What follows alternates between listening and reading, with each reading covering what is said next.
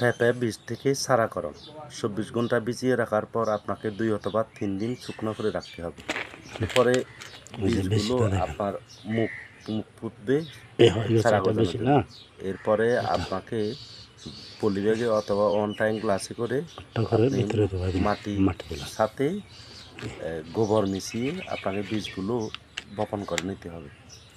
বপন করার বপন তবে বপন করছে খুব সুন্দর করে করতে হবে। মাটিটা মাটিটা পলি মাটি হতে হবে। এরপরে সাত দিন পাঁচ দিন পর। আপনার এরকম করে গজাবে। আর এই বীজগুলো দেখেন একুশ দিন পর। এভাবে হয়ে গেছে।